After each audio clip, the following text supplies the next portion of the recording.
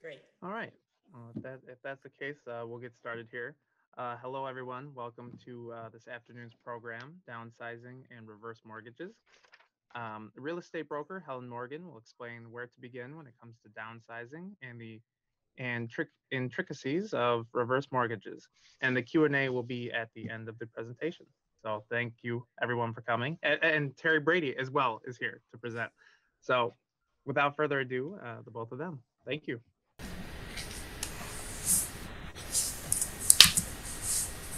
So the question is to move or not to move? That seems to be the never ending question as we go through the many transitions in our lifetime. What was once the perfect fit for the growing family is now just too much to manage. So, how do we know when it is time to move? And what is the downsizing process? What are the options? Should we decide to stay in our home? Hello, I'm Helen Morgan, a local real estate broker that specializes in, in providing answers and solutions to these very questions. As a certified senior housing professional and senior real estate specialist, I've had the privilege and the honor of helping many families through the downsizing process. My mission to make downsizing simple and stress-free for aging adults and their families by providing real estate solutions, resources, and education. And I'm assuming if you joined us today, you're here because you're contemplating this, these very questions. So I'm here to walk you through the process of downsizing and the options. Terry Brady will join us um, after this presentation. She will join us to help educate on reverse mortgages. So please hold your questions until the end of this session. Our goal is to equip and empower you with the information you need to make the right decision for your family.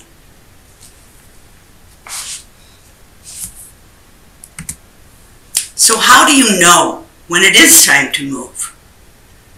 Well, the truth is, it's personal. And it sneaks up on all of us. A lot of people have said they feel an overwhelming feeling of anxiety, depression, even sadness at the th very thought of a move, especially after 20, 30, 40 years in the same home. It can affect us physically as we become unable to keep up with the home and the maintenance of a yard. It can overburden us financially. On the flip side, maybe you just have started to see that there's more to enjoy in life. If you're not burdened with the large home and all the stuff that comes with it, you might be looking forward to what I like to refer to as right sizing and enjoying your time.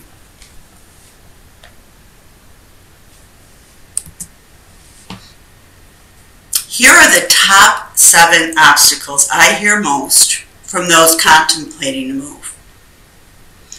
I'm not ready yet. It's all so overwhelming. This is the one I hear the most. We don't know where to begin. At least with this one, you're feeling optimistic and you just need some direction. I need to wait until my kids can help. Well, this one can be quite challenging. In many cases, our adult children are busy raising their own family, working full-time jobs, and may even live out of state. I often hear from my clients, we don't know, we don't want to burden our children. So you may even feel guilty about asking them for help. What will I do with all my stuff? We'll take a deeper dive into this one a little bit later on in the presentation. The thought of making these decisions scares me. Well, maybe you've recently lost a spouse, and this is the first time in many years you're having to make major life decisions on your own, and you don't know who to trust. And last, I'm not physically able to manage the move. This presentation is meant to help you through all of these obstacles, except one. Can you guess which one? Well, I'm sure you probably can. I can help with and my team with everything except I'm not ready yet. And why? Only because you can make that decision. You're the only one that can make that decision. Maybe your children or family family members are concerned about your safety living alone and are encouraging you to make a move before there's a crisis. Maybe you've experienced a fall or health scare that has caused concern. Well, rightfully so. That's all fine, but ultimately it's your choice. You are in control of your life. Let's all raise a hand or just think these questions about these questions to yourself, whichever you're most comfortable with. How many of you currently have things in your home you no longer need or want? Who has, yes, I'm raising my hand too, Terry. Who has things they're storing that belong or belonged to someone other than themselves? And who has a spouse that keeps everything? Well, I am really waving on this one, I can tell you that. Um, who would say that it's all the stuff that keeps them from making a change in lifestyle? And lastly, who would like to know about some, some people and services that can help you deal with all the stuff that come when it comes time to move or to just downsize your life? Hopefully some of you have answered yes to this question because otherwise it's going to be a very short and or boring presentation.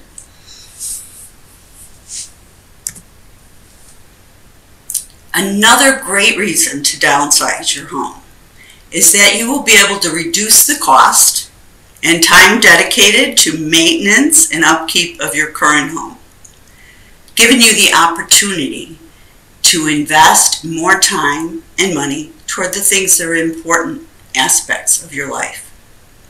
Overall, many times downsizing makes living more affordable for you. When you make a choice to live a better, more comfortable lifestyle, it really should be referred to as right sizing. That's my favorite term. Okay, no judgment. No judgment here, please. Please don't judge. You see, I've started the downsizing process myself, and you're not alone. This downsizing process is something I work with my clients on every day. And I realize it's not easy and it can be overwhelming. Well, I have a funny story to share with you. At least I think it's funny. I hope you feel the same way not listening to my own advice, obviously from this photo on the left here, I decided to dive in head first into a room that wasn't used much. The grandchildren sleep in the room when they come over for sleepovers, so I thought it would be a great room since I wouldn't need to complete it right away. I could close the door and work on it when I when I felt like it. Well, I started pulling everything out of the closet, hence the photo on the left. And when I did, everything in that closet was um, trying, I was trying to decide, you know, what to donate, what I should keep, so I'll just go through it all and we'll leave it in the, leave it in the room. The closet was packed full of photographs, which mean memories. And well, three hours later, I realized I could barely get up off the floor because I was looking through all the photographs for three hours. Big, big, big mistake, I must say.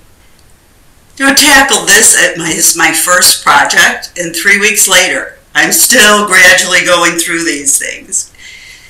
My grandsons came for a visit, and as I mentioned, this is the room they would stay in.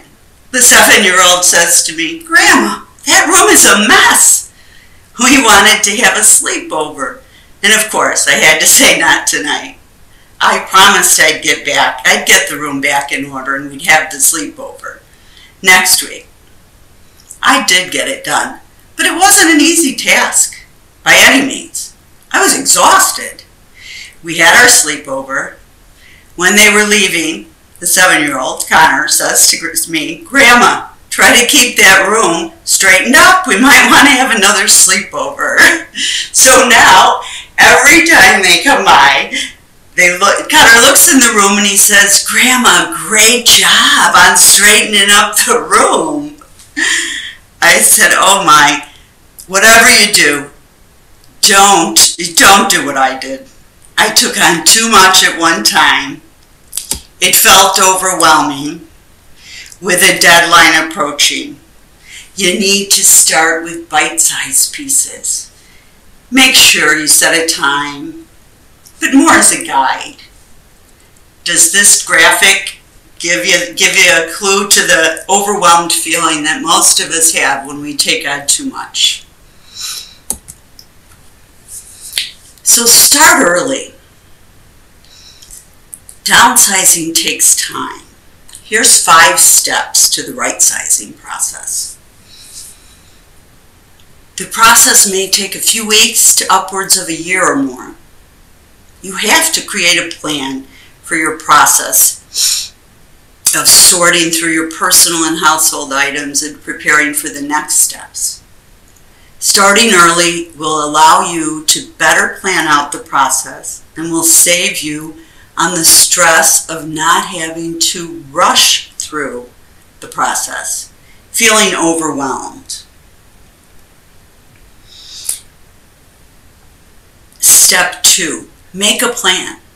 Create an outline of what needs to be done. This will help keep you organized and on track throughout the process.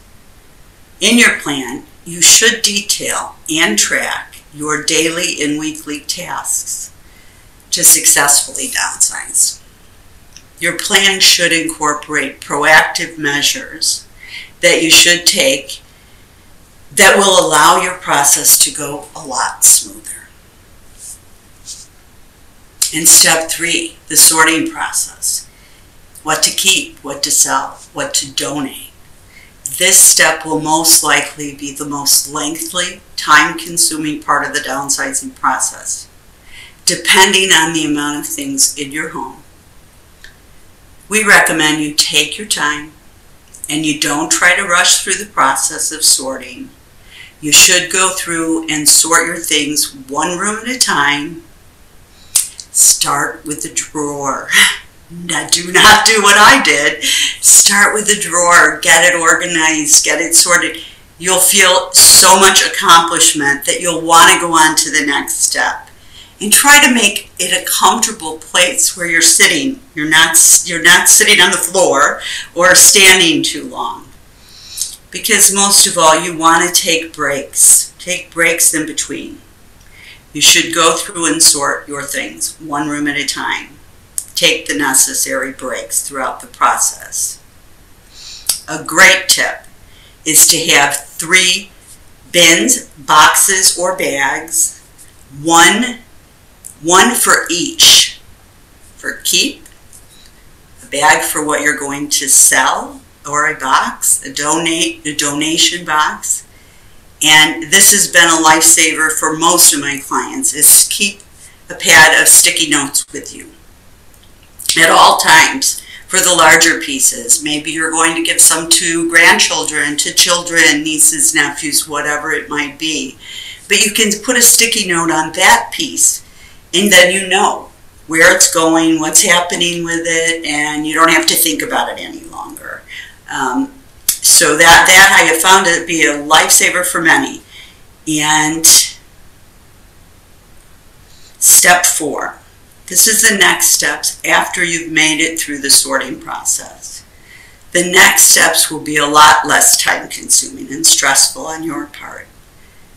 Time to pack up all the remaining items that you've decided to keep and focus on selling your home. We recommend working with a real estate broker to make the process of selling your home go a lot faster and smoother. And step five, which is very important, relax and enjoy. You successfully made it through the process. Take the time to relax and enjoy your new home. You deserve it. And here's the good news. Remember a few slides back? I asked you to for a show of hands on who would like to know about some people and services that can help you deal with the stuff when it comes time to downsize. Well, there are a variety of specialists that I've had, I, I have personally vetted, trusted, and tested. I can, I can help you find the right specialist given the specific, your specific circumstance because every, every situation is different.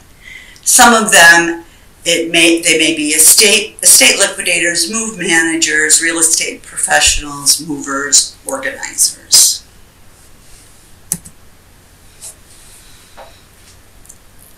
When to use a reverse mortgage. Now I'd like to introduce you to Terry Brady. Terry is a reverse mortgage professional that has been helping seniors analyze home equity funding solutions for the past eight years. She is a member of the National Aging in Place Council. We both are members of the Continuity of Care Network and the Aging Care Connections Committee. Okay, Terry, I am going to stop sharing my screen and it's all yours. Thank you, Helen. I so appreciate that. That was great information. And um, yes, I am one of those who needs to start doing that. Um, I'm going to share my screen now and hopefully this works right. But where is that present mode that you that I'm supposed to use? Helen, are you are you seeing more than just my my? Uh, are you seeing the side slides? Yeah, I don't know where that present mode is, but I'm just going to show it as is. All right, can everybody hear me? I feel like, yeah. Um, so my name is Terry Brady. I am a reverse mortgage specialist. Um, I know that um, this is only one part of the puzzle that Helen is talking about in terms of downsizing, and that's the financing part of it. You know, how as a senior do you finance buying a new home? And that is where my specialty comes in. I'm just one of those many specialists that Helen was talking about. And it's, it is a complicated um, concept in a way, so today I'm just going to ask that you come away with a couple things. One, that you're curious to learn more about the reverse mortgage process, um, that you are confident that this is something you can use and not be concerned. It's a very different product from that reverse mortgage that people were so scared of many, many years ago. It's no longer that, that same product. And to know that it is unique to people who are 62 and over. So this was especially made as a way for seniors, retirees, to be able to get financing to purchase a home or to basically get cash out of their home. So your home is no longer an illiquid asset. Rather, it is an asset that can create cash to either buy that new home or buy a second home or for any of your needs. Okay. So first of all, I'm going to go, like I said, through the basics. And then I'm going to um, lead that into how you can use it for your downsizing when um, you're working with someone like Helen. So your retirement goals, as we all um, retire, we share the goals of, you know, longevity, wanting to make sure our money lasts as long as we need it to, and we're all living longer. So for my mom, who we celebrated her 91st birthday on Saturday, it's a long time. So we're like, okay, you know, we need to really think about this. The five kids have to really think about how we're going to keep mom going in the lifestyle that she enjoys.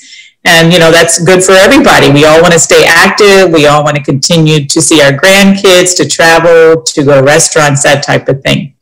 Um, we want to be able to have the liquidity so that if we do have emergencies, if we need a new roof, if we need in-home health care, we want to be able to have the cash to do that as well. And of course, we would still like to have a legacy and leave things to our charities, to our children, to our grandchildren, and that type of thing.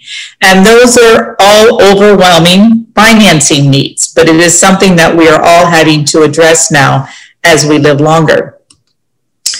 Um, you know, your biggest asset is probably your home. For most people in retirement, they've owned their home for many, many years.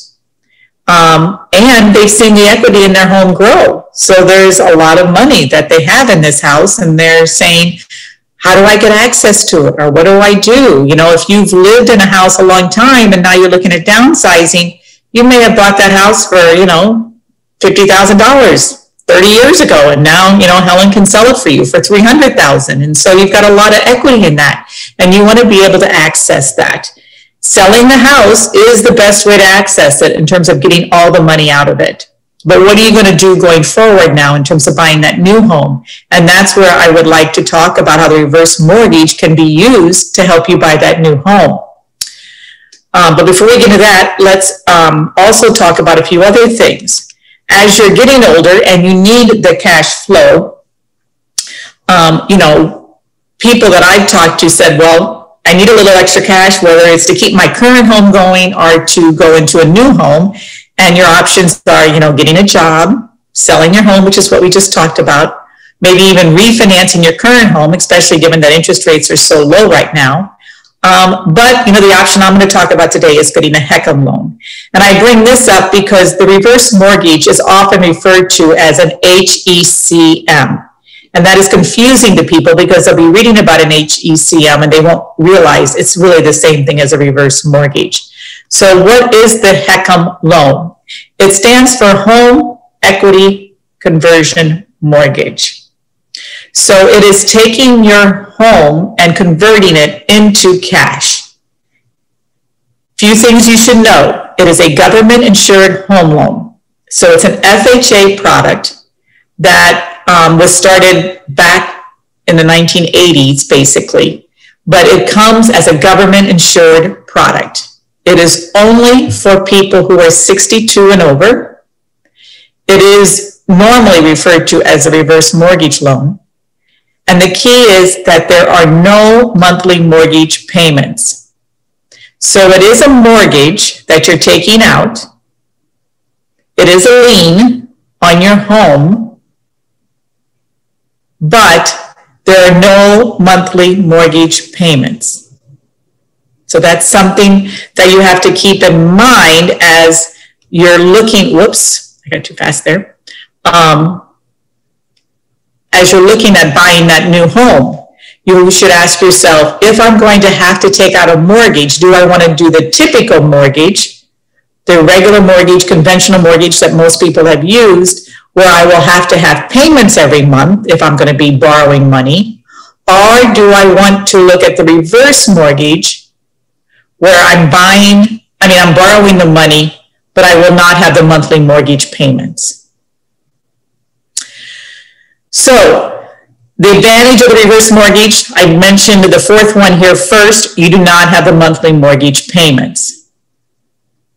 You do stay on title, Many people have this misconception that once you do a reverse mortgage, the bank owns your house. That is so not the case. That's never been the case. It's just this uh, concern that people have because they feel like they're not making payments and they've lost their house. No, it is a mortgage. You own it. You just have a lien against your house, just like with a conventional mortgage. Because it is government insured, you will never owe more than what your house is worth. It's called a non-recourse loan. So FHA is the one that will make sure that you never owe more than what your house is worth. The only stipulation is that you pay your property taxes and insurance. And as long as you pay your property taxes and insurance, you stay in the home. No matter if you end up owing more than what the house is worth, you will still stay in your home. So you are protected with the stipulation that you can pay your property taxes and insurance. And that is something that I go through to make sure that you can afford to do that before you get the reverse mortgage. So oftentimes when you're looking at a conventional mortgage, they look at how much your income is, and that tells them, the bank, how much you can borrow. Well, now we're talking about working with seniors, right? So seniors don't really, don't typically have that much income. They no longer have the job. So what determines how much you can borrow then on this HECM or reverse mortgage? It does not have to do with your income at all. It has to do with your age. What the government is basically saying is, let's run the numbers and figure out how long you're going to be staying in that house. If you're 90 years old, they're willing to lend you a lot more money as a percentage of the value of your home than if you're only 62, because obviously they're looking at how long you're going to be living in that home. So the older you are, the more or the higher percentage of the house you can borrow against your home. They look at what equity you have in your home, because if you currently already owe money on the house, we have to take that into consideration. If you already owe, if you haven't paid off your house yet, that doesn't mean you can't get a reverse mortgage. You can still get one, but we first have to look at, well, you already owe, you know, 20% on your house. So therefore, we have to pay that off and look at how much more we, you, you are eligible to then borrow above that. Other big factor, of course, is how much your, your house is worth because everything is a percentage of the value of your home. So let's say your house is worth 200,000. So at the age of 60, you can, you know, let's say borrow 50% of that value, 100,000. Whereas if you're 90, you can probably borrow about 70% or 70,000 of the value of that home. And then the last factor is interest rates. And right now, interest rates are very low. So that really works in your favor in terms of being able to borrow a large percentage of the value of your home. So how does this money get dispersed? Because really, this is like a home equity for many of you that have maybe gotten a home equity in the past, you're borrowing the value against your home. And um, it's different from the home equity in the sense that you're not making those monthly mortgage payments. Okay? It's also different in the sense that um, you can take the money out and use it all up front in a lump sum payout which is how I'm going to talk about it in terms of how Helen and I would work together.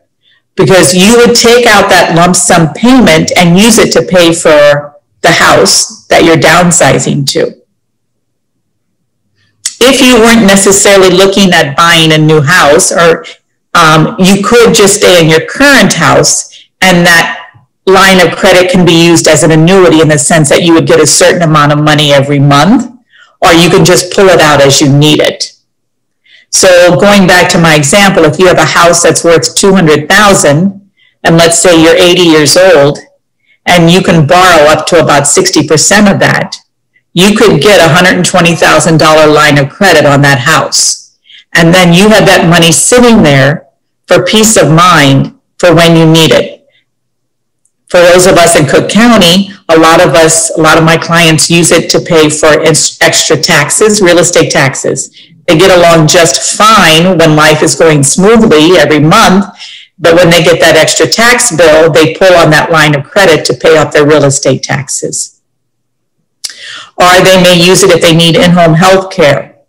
they may have a fall and they now need 24 hour care, they'll pull on that line of credit to then get the um, money to pay for in-home health care. So basically what you do is you set up this mortgage up front, this line of credit up front, and it's available to you when you need it to pay for any extra expenses. You can also use it to buy a second home, which is where Helen would come into play.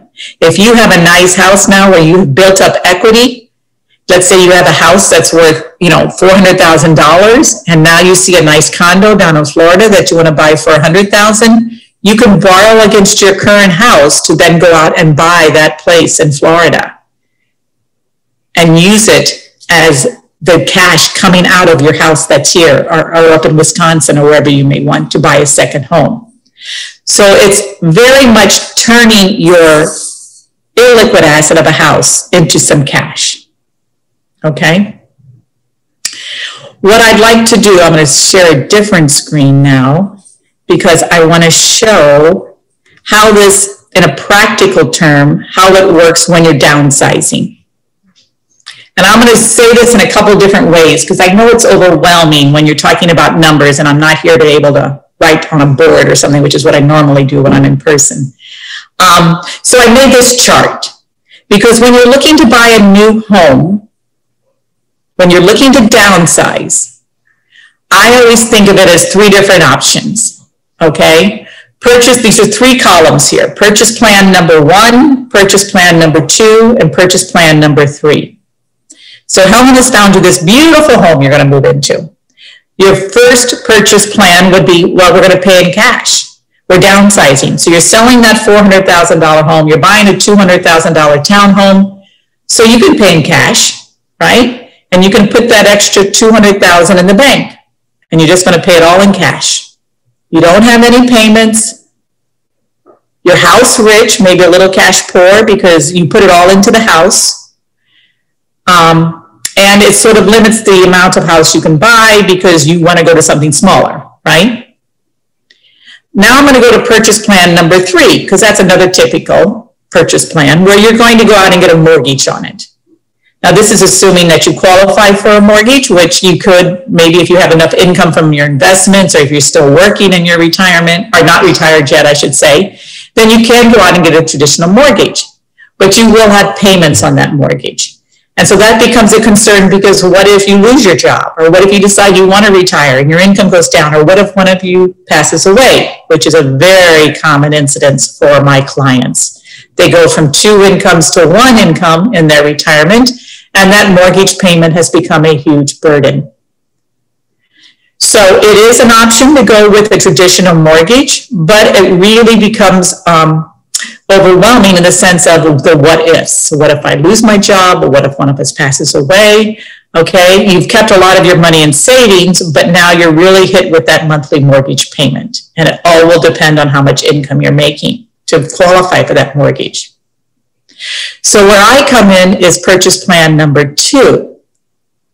And this is not something a lot of people really understand or know about. So as I said, I'm just going to sort of um, tweak your curiosity today and, you know, it's something you can learn more about.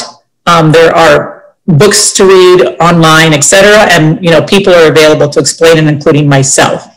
But let's go with the concept. Remember when I said before that it all depends on your age? So let's say we're talking about somebody who's 70. And just for simplicity, let's say with the reverse mortgage in today's interest rate environment, with a 70 year old, that they can borrow 50% of the value of a home. So if you find a house with Helen, let's say that's worth $200,000, the townhome that's worth 200, you don't have to pay $200,000 in cash. You don't have to go out and get a mortgage for that 200,000. You can pay half in cash. You can just pay half, pay 100,000 borrow the other 100,000 on the reverse mortgage. You will not have a monthly mortgage payment. You will be able to take that extra 100,000 and put it in the bank. Or if you want, if you have two hundred thousand, you can go out and buy a four hundred, uh, you know, a bigger house. Because now you know you can borrow half. So it increases the amount of house you can buy. You could buy, go from a four hundred thousand to a three hundred thousand instead of the two hundred thousand because you can now borrow half. You can borrow the one fifty and just pay for 150,000 in cash. So it increases the amount of house you can buy once you're downsizing. So now the question becomes, and I know many of you are thinking, what am, I'm not making mortgage payments. Yeah, what's the government doing? Lending me free money? No, no, no, no, no, no. They would never do that. But what they are doing is they're being very, um, they're allowing you to look at this as a loan that you can pay off when you move out of the house, which quite frankly, for most of my clients means they passed away or they've gone into the nursing home or assisted living. So you're borrowing that money. So let's say you borrowed a hundred thousand in a reverse mortgage. Interest rates are very low right now. So we're talking about 3%. So think of it like a credit card that you're not making any payments on. As you get your credit card statement every month, if you don't make any payments, that amount you owe goes up over time. The same thing happens with the reverse mortgage. The amount you owe goes up every month. The biggest difference is that you're only being charged 3% interest. Whereas with the credit card, you're being charged 12, 15, whatever. So it gets really big, really fast. But with the reverse mortgage, it's a very gradual going up. It's dependent, you know, on the interest rate. Then you can, many of my clients, you know, they live in their house 10, 20 years. So it's only when they die and pass away that that mortgage is then paid off. If they passed away, then whoever has inherited the house chooses, if they choose, they can stay in the house. They just have to pay off the reverse mortgage. But most of the time, the children don't want to move in the kid's house anymore. And instead, what they'll do is they'll sell the house, pay off what that current mortgage, reverse mortgage loan balance is, and then they inherit the rest of it. So the conception that people have lost their house or that the kids no longer get any money is not true. But it does depend on how long you lived in that house. If you should pass away or move after three or four years, then there is going to very much be equity left in the house. But if you lived in the house for 20 years and what you borrowed of 100,000 has now grown, you know, many, many, many times, it may be worth more than what the house is worth. And that's where FHA comes in because they insure it so that you never owe what's more than the house is worth, which means your kids are not on the line for anything. And if you haven't lived in the house that long, then your kids will still inherit whatever is left after they've paid off the reverse mortgage. So I know that that's a lot of thought, a lot of information. But I want you to come away with the fact that it is, like I said, very much an option to think about. Um, you can use this as a planning tool for the for when you're thinking about how much you can afford to buy. I had um, I had two sisters that were living in Missouri, and they had a house in Missouri that you know they felt like they wanted to be closer to family here, and they came up here and they were looking in, in um, Oak Lawn to buy a house last year. And they found a $300,000 house they really liked, but they had just sold their house in Missouri for only 200. And they're like, what are we going to do? And so their realtor knew about this and they said, well, you can borrow half of it. So borrow the 150 and just use 150 of the 200 you sold your other house for. And you can, and you'll still have 50,000 left over for any, you know, concern, you know, to put in the bank. So it is very much a tool to have to look at different ways to finance when you're downsizing. Most people traditionally think of the reverse mortgage as a way to create cash out of their current house. And that is very much a way that people have used it traditionally. But in these new developments, especially the 55 and older developments, whenever someone is moving, 55 is long, you have to be 62, but whenever someone is moving into those developments now, oftentimes the developer himself or the realtors who are selling them say, you know, you should really look at a reverse mortgage. You don't have to pay cash for these places. Look at a reverse mortgage to finance your new purchase on your new downsizing. Because it is very much a viable alternative if you're planning on staying in this house forever.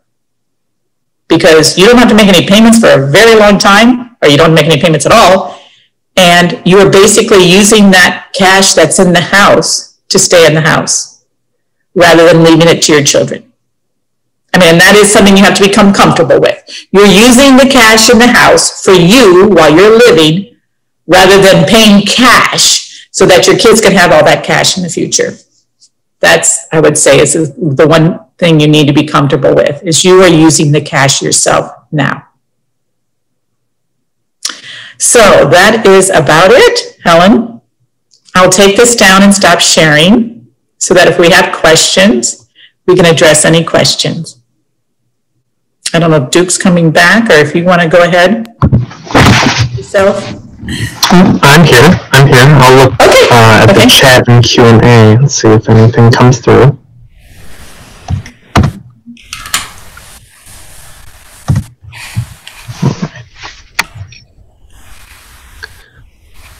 So yes, if anyone has any questions, feel free to put in the Q and A or the chat box. Um, I will be looking at both. Or if you have any suggestions on how to improve our presentation, we're always looking for advice, suggestions.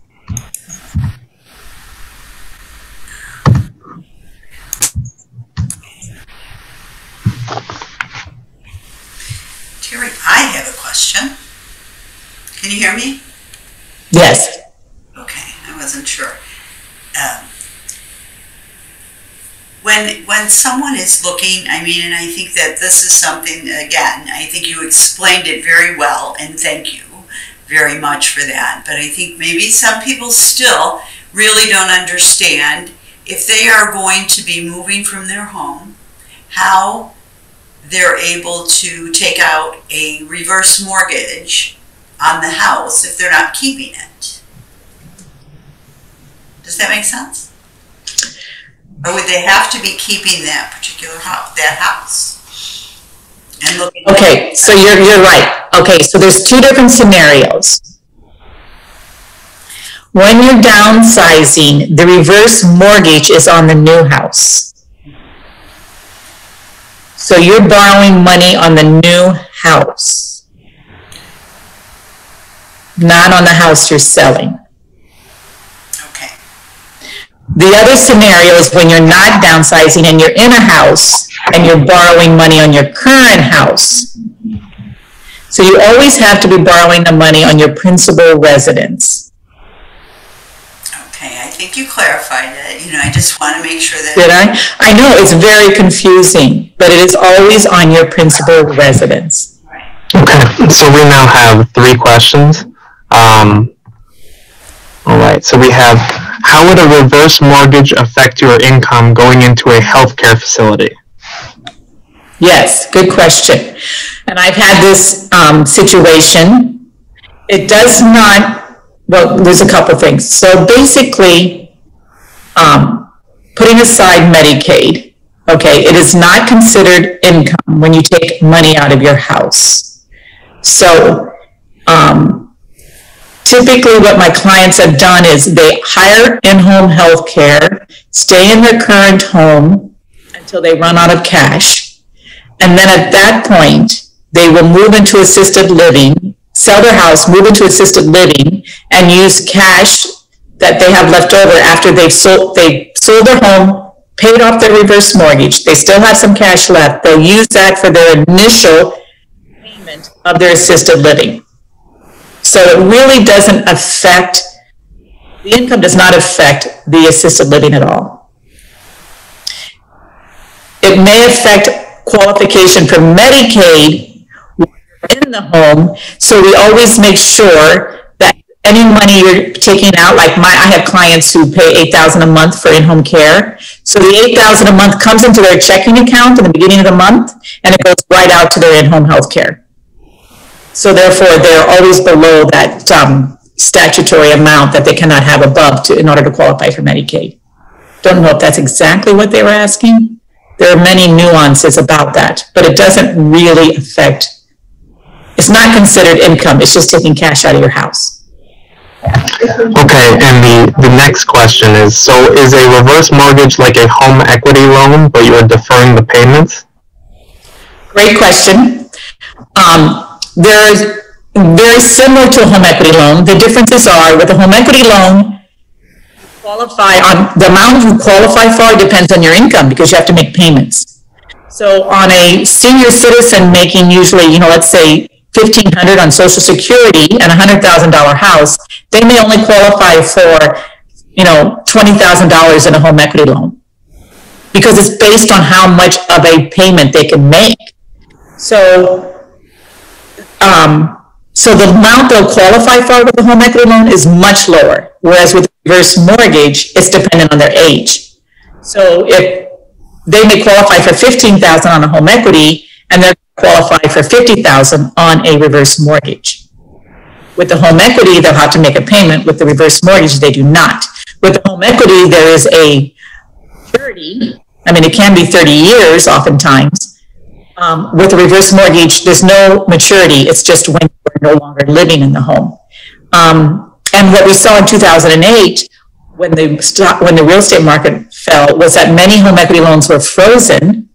With a reverse mortgage, once it's set up, nobody can take it away. And not only that, but it gets larger. So that was a nuance I didn't mention, but when you qualify, when you set up your reverse mortgage, and let's say you qualify for that $50,000 line of credit, if you don't use it, it gets larger over time, which is another benefit. Okay. Um, we have somebody who said, confused about what you were talking about with the sisters only having 200,000, but the house was more. So I'm saying that they walked away from selling their house in Missouri with 200,000 in cash. So they thought they could only buy a house here that was worth 200,000. And once the realtor explained, no, you can still borrow money even though you don't have income.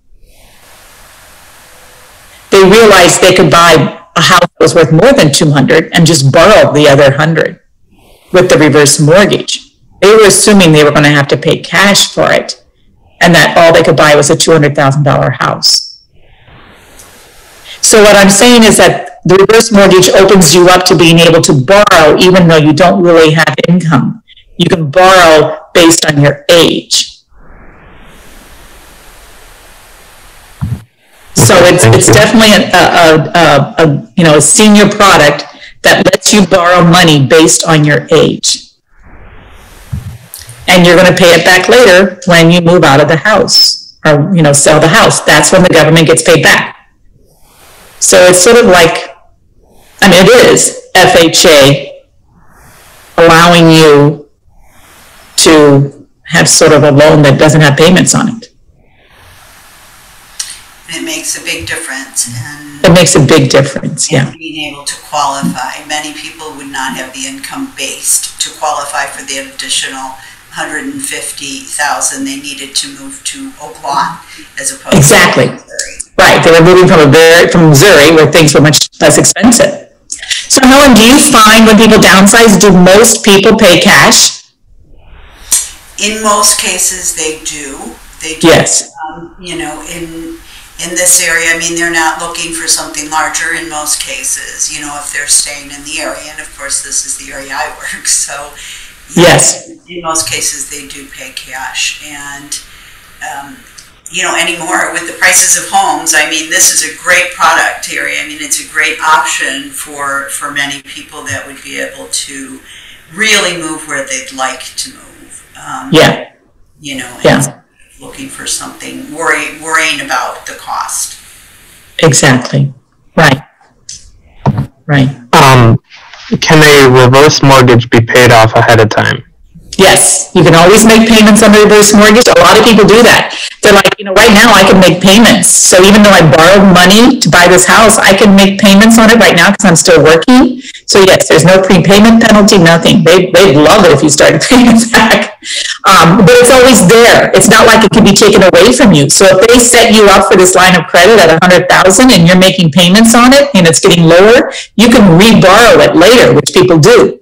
they pay it off while there's still two people in the house. And then, um, it gets lower and lower, I mean, you know, the amount they can, borrow because borrow gets higher. And then when one of them passes away, that amount is available for them to take out again. So it's a good planning tool from that standpoint. Financial planners look at it as a planning tool. Yes, good question. Houses where one may need to go into an assisted living. um, Yes. You know, and And that's a good point too, Helen. If only one goes into assisted living, you still live in the house. You can still live in the house. You don't both have to be in the house anymore. And I've had that situation come up. Mm-hmm. So you can have a reverse mortgage without having a primary loan? Well, it is a loan. It is a loan. The reverse mortgage is a loan. That's the way to think about it. It's just a different type of loan. It's a loan without payments. Yeah. But you can only get it if you're 62 and over. So, yeah. And eventually it will be paid back. And it will be paid back when you sell the house. Right. Whoever is being, who is selling it, you or someone else. Mhm. So I think those are those are all the questions so far, unless we have any last minute ones at the end here. Um, but I do want I do want to thank um, Helen and Terry for doing this presentation. The Orland Park Library thanks you. Um, we'll, we'll give it a minute here to see if there's any last minute questions. But thank you both for doing this. We appreciate it. You're welcome. Thank you for, um, being so, you know, innovative in, in giving these presentations while we're in the middle of this pandemic. It's a great way to reach out to people. It really. Thank you. And Thanks. we appreciate the opportunity. Drew. Exactly. Yeah.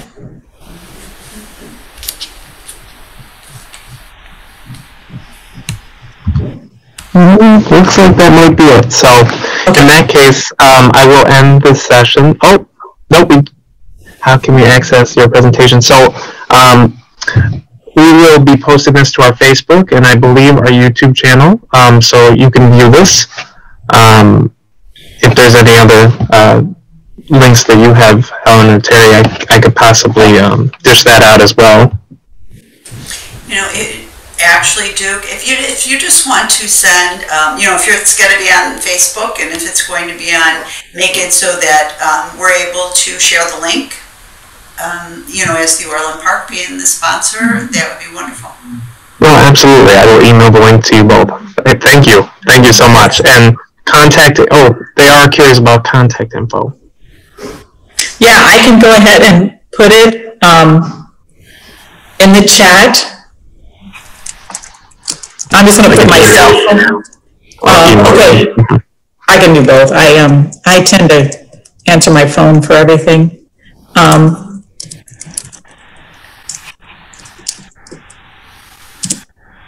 did I do that right? Oh, a dot com, not, I did a little typo there.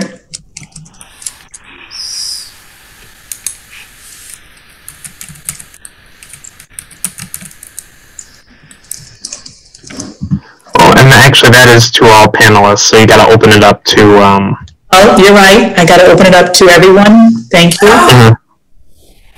Okay. Attendees, thank you. See how naive we are on this stuff? Good. Don't worry about it. So that is located in the chat, everyone, not the Q and A, the chat, Okay, I did that in the chat. Yeah, I hope people Yeah. see that. There you go. and that looks right. That's perfect. Okay, thank you. Good. And I'll leave that up for people to take pictures slash uh, write down for a good Okay. minute here. Yeah. Yeah. So is your library open, Duke, now or no? Uh, yes, it is. Yes, it is. Uh, we require Okay. masks, and we are open. Yeah. Yeah, okay, that's great. Yeah. Do you have maximum capacity or is it pretty much all open now? Um, it, it it's changed so much. Let me see here. Um, we we've had steady numbers, so I don't think maximum has been an issue. Um,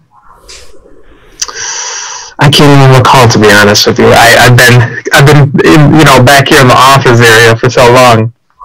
Um, so I'm not sure the exact policy right now, but it, it's probably on our website. Yeah, yeah. Mhm. And so, yeah, that should be perfect. Thank you both again uh, so Okay. much. Um, I will email you the links once they are posted. Um, our graphics department takes care of that. So as soon as it is posted, I'll send them your way.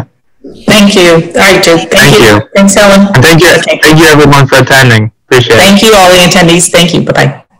Bye bye.